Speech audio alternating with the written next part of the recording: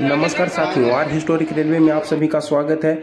आज हम देखिए जो ये वीडियो में बहुत बड़ा आज रेल हादसा हो गई आज सोमवार के सुबह सात बजे की यह घटना है और एक मालगाड़ी जो है वो स्टेशन से टकरा गई है और टकराने के बाद इतना बड़ा ये ट्रेन हादसा हुआ है कि यहाँ पे रेलवे के आला अधिकारी आ चुके हैं और बहुत से यहाँ पे ट्रेन की पहिया और बोगी इधर उधर बिखरी पड़ी है और बहुत सारे लोगों की इसमें मृत्यु हुई है कुछ लोग घायल हुए हैं तो ये क्या थी? आज ओडिशा के जो जाजपुर ज़िले के केरई स्टेशन पर एक मालगाड़ी को पटरी से उतरने के कारण केरई रेलवे स्टेशन के प्रतीक्षालय एवं रेलवे स्टेशन क्षतिग्रस्त हो गई है साथियों। ये आप वीडियो में जो देख रहे हैं लोगों का हुजूम है। ये ओडिशा के केरई रेलवे स्टेशन का है और केरई रेलवे स्टेशन पे मालगाड़ी की आठ बोगी पटरी से उतर गई है और पटरी से इस कदर उतरी है कि पटरी का बोला जाता है कि पटरी टूट गई है और इसका जो बोगी है, बोगी का परखच्चा उड़ गया है, इसका जो पहिया है, पहिया इधर उधर पूरा बिखरा पड़ा है साथियों।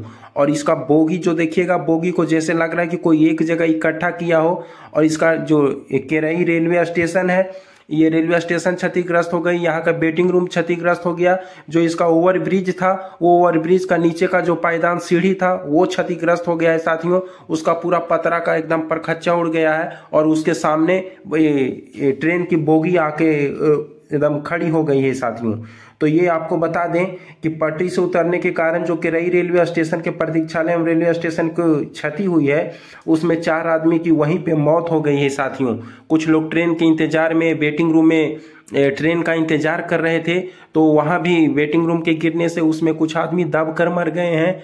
और अभी कहा जा रहा है कि चार आदमी की मौत हुई है और सात से आठ आदमी घायल हुए हैं। उड़ीसा के मुख्यमंत्री नवीन पटनायक ने मरने वालों को दो लाख रुपया देने की आश्वासन दिए हैं और जो घायल हैं, उनको पच्चीस हज़ार रुपया मुआवजा मिलेगा साथियों।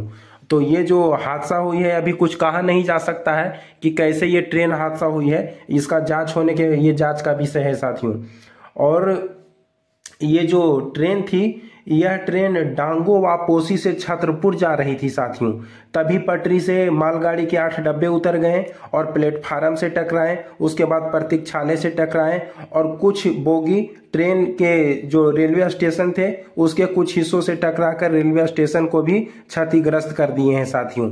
तो ये कुछ था और इसी तरह का अपडेट हम आपको देते रहेंगे साथियों। ये ओवरब्रिज का नीचे का पायदान है। आप यहाँ पे सामने देखिए कि कैसे मालगाड़ी आकर सामने खड़ी हो गई है।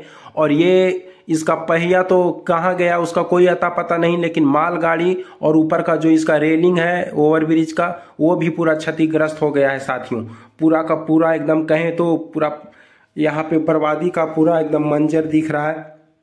स्थानीय लोग आ चुके हैं, जो ग्रामीण इलाके के लोग थे, वो सब आ गए हैं।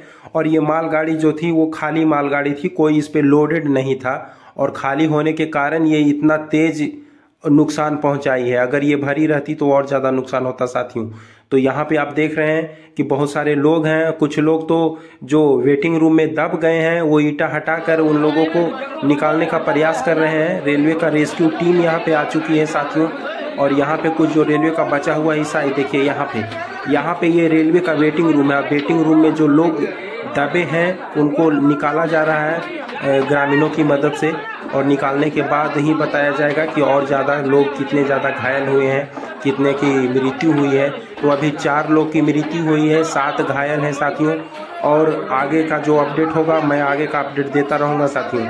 और इसी तरह का रेलवे से संबंधित मेरा वीडियो रहता है तो मेरे चैनल को अगर आप नए हैं तो सब्सक्राइब कीजिए, लाइक कीजिए, शेयर कीजिए साथियों। रेलवे से संबंधित ही मेरा वीडियो रहता है। और ये जो आप देख रहे हैं, ये उड़ीसा के कोरई रेलवे स्टेशन की घटना है। आज सोमवार की सुबह सात बजे ये घटना घटी है और सात बजे से अभी तक यहाँ पे रेलवे के आला अधिकारी आ चुके हैं साथियों। वंदे मातरम, धन्यवाद।